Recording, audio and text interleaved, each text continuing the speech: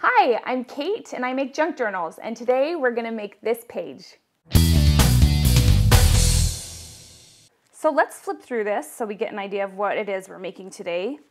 We have this open flap and then a little notebook. It opens up to a big page with a tuck. And then on this side we just have a pocket and a flip up. And then this clasps together. And the whole thing is a belly band with um, a card behind it. And the card has a flip and a pocket. Okay, so let's get started. So this is the page we made last time, and we're just gonna now decorate the back page. Once again, this is a cardstock thickness of paper, and you wanna make sure you're using something pretty thick to bear the weight, because this is gonna get really heavy. I'll probably reinforce the inside as well, and I'll show you how to do that in a minute. So the structure of this page really is this is all one big page, just kind of glued in belly band style with it folded. So I'm gonna need to pick out a long paper for this main page. Either something with more color or something a little more geometric, but I definitely want it to kind of have the soft pastel look so that it kind of blends. I'm gonna want a pretty thick paper for this as well. So this page was five by seven, so we're gonna cut this down to be seven inches in height. Okay, so this bottom page is almost all the way to the fold line. I will want room on either side of this paper. So I'm just gonna watch the length as I fold it and kind of guess, maybe like that. Then I can just fold it right next to that. And this one I'm just gonna fold almost in half, giving a little space from the crease. So something like that. Before I put this on, I'm gonna round the edges. And I'm also going to use that weathered wood ink just on the edges. So often I'll just do the very tips. Other times I'll do it more sloppy so that it kind of bleeds over and makes marks. And that just adds some texture. If you fold and do it on the cracks. And sometimes I just put a stencil on there and I just blot a little bit too. So there's more texture and it's not just stark white. Okay, awesome. Okay, so now I'm ready to glue this. And because this is a belly band, I'm only gonna glue on the top and on the bottom. So putting it a little bit closer to the edge of the book rather than the spine and press it down. All right, so let's start with the top. So for this one, I just did one flap up, but we're going to change it a little bit. I'm gonna get some avocado dyed paper and I'm gonna cut several strips to be just a little bit thinner than this flap. Okay, so I'm gonna arrange them so that they're staggered and then I'm gonna mark where the top will be. So I'll wanna cut it down about right there. And to put these together, first I'm going to lightly glue them, a small amount of glue along the top.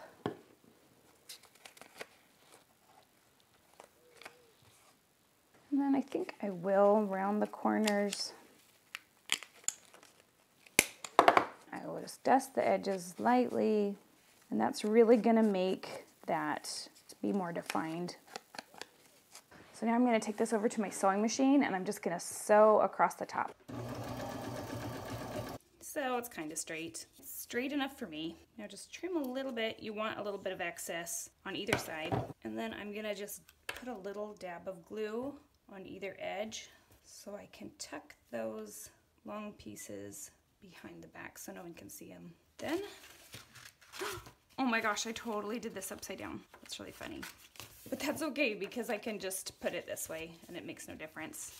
Good thing I caught it now instead of making the whole thing upside down. So we're gonna put it this way on this side and I'm gonna glue the entire back and press it down. We should probably out of decoration. So I'll just find something small. I love mushrooms. I mean, I hate eating them, but they're cute. Okay, so now we're ready to do the inner flap. So I'm gonna use some lined paper and I'm just gonna fold it once and just sort of watch and make sure it's smaller.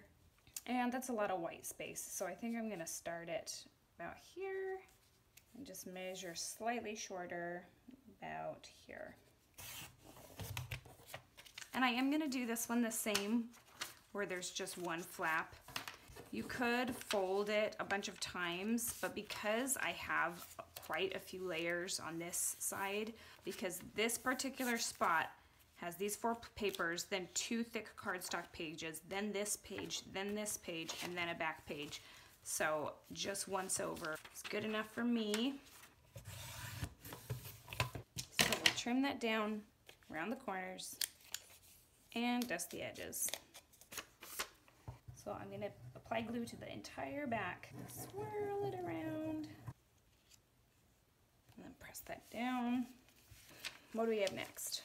Okay, so we need a clasp, a foot pocket, and a card. For the clasp, I need anything that is a little bit thick. Sometimes if I can't find something that I really like, I'll just put a piece of cardstock and then a piece of lightweight ephemera on top of it. So let's do that. So this ticket is pretty flimsy, but we're clearly going with the teal theme here, so it will do nicely. And here's just a leftover piece from a file folder. So I'll make it a tiny bit shorter, something like that. And then I want to cut the edges. Let's see if that lines up okay. Swirl a little glue on there.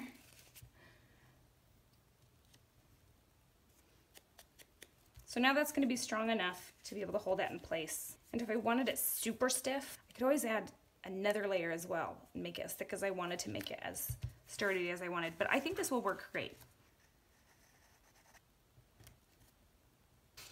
Now we just need some paper for this folding pocket. I have this coffee dyed paper. And I'm just gonna fold it, mm, I don't know, about halfway up.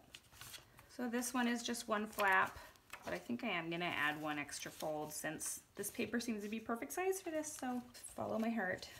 And that's what my heart is telling me. Okay, so I'm gonna round the corners again, ink the edges. We're gonna glue these three edges. And stick that near the bottom. Adding lace or ribbon at the bottom of a flap is really nice because it helps weigh it down, especially in this circumstance where it also has to hold back this piece. So I'm gonna wanna get something fairly heavy. Oh, I like this. Let's go with that. So I'm just gonna cut it about the length of the paper, put some glue down, smash it on there. Lovingly, of course. Okay, let's find a tag. And I'll just stick it in there. It's looking pretty good. Now let's do our tuck for the middle.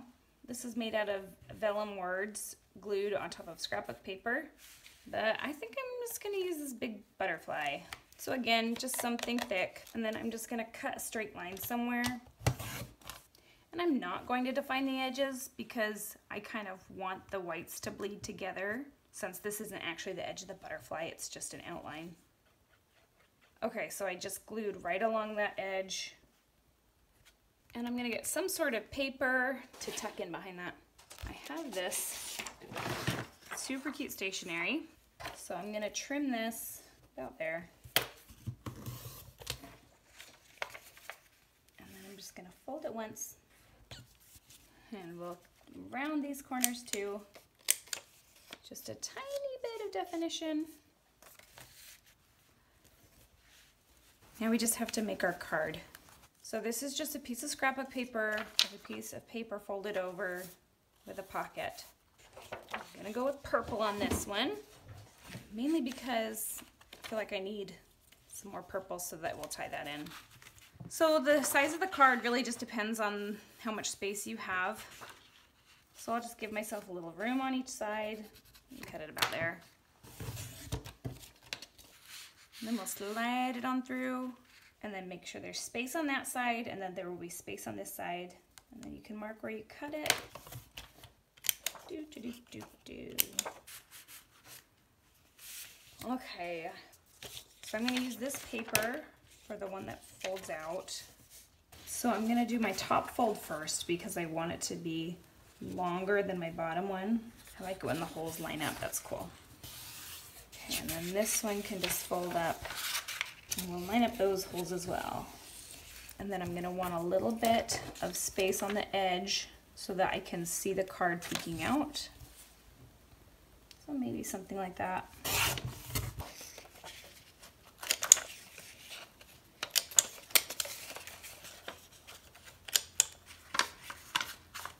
And we don't need anything to hold this flap down because it's being tucked behind everything.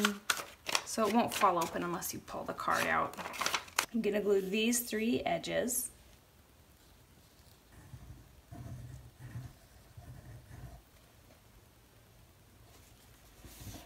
So now we just need to find a card.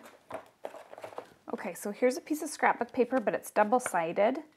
And I want there to be writing space on everything, and I guess technically you could write on that. So I'll measure it to be a little bit smaller. And we'll fold it over. Make sure there's a nice border.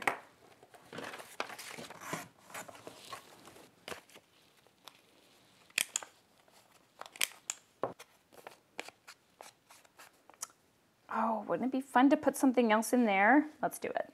So I'll just glue three edges.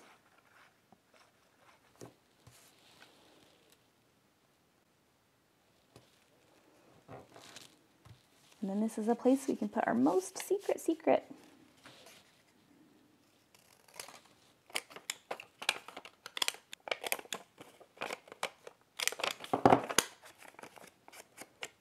Let's set a stamp.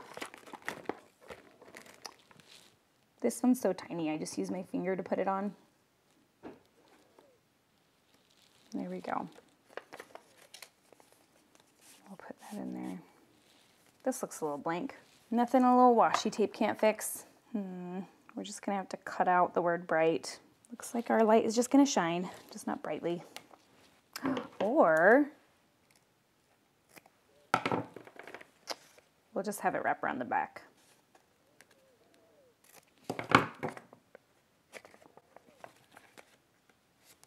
There we go, that's cuter. Okay, so we can put our super secret card, close this up, and then we'll slide it in. And we did it!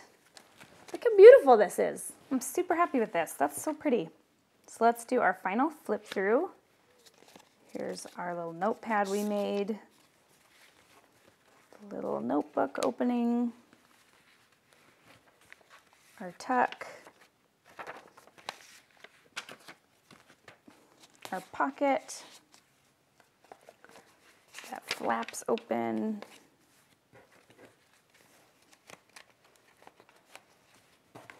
And then our super secret card. So I came up with this a couple weeks ago and I have been a little bit obsessed with it, so I've made it two other times. So I'm gonna show you those as well. So here's another version. This is just one paper glued on. Then we have our notebook, our little tuck spot, same thing, vinyl letters over scrapbook paper. Then here's just a little vintage card over some paper, and this time I did a quadruple flip up. Look at me being so ambitious. And this is one of those Tim Holtz flowers that I love to use as clasps. This is some sort of tag. There's a playing card. Then I have a little pocket fold up and this whole thing opens up as well.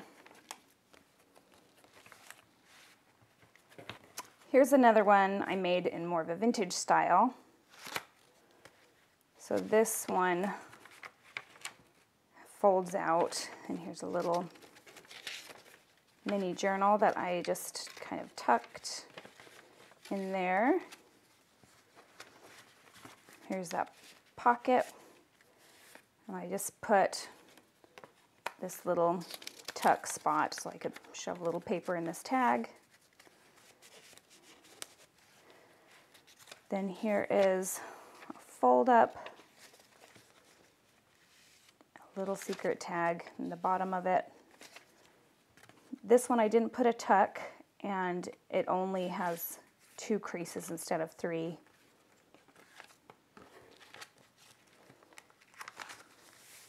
And then I put some tags in the back. This one just opens up once. So there's four different variations on this general idea. And now we have two sides done for our journal. I'm gonna leave the backside flat. And because this is such a heavy page, I'm gonna reinforce this spine with just a little bit of tissue paper. So I'll snip off the top and I want it just shorter than the page. Great. So I'll just use a glue stick and get that nice and glued. Put on that paper. And then I'm gonna do another layer of glue on top. So it's kind of decoupaged on there. And not only does the tissue paper add a layer, but so does the glue. And that's really gonna help hold that spine together. We do not want it tearing out of our book. Sometimes I put a thick strip of washi tape or I'll cut out and glue a little piece of Tyvek to the center before I decoupage either a napkin or tissue paper to the middle. You could also glue just a little piece of scrapbook paper or book paper or whatever you wanted there. Just something that adds another layer so that that is not gonna rip. And I'll use my ink to add just a little bit more dimension and maybe grab a doily and use it like a stencil to just kind of get some texture going. Just a little something happening on the paper. And maybe even a butterfly. And since I think this page is so lovely, we'll label it lovely. So now this page is 100% complete and ready to be sewn into a junk journal. Thanks so much for watching. I would love it if you would subscribe, comment, and share my video. Thanks for spending time with me. And remember, if you use my templates, I really want to see it. Tag me on Instagram at, at Kate's Junk Journal. We'll see you next time.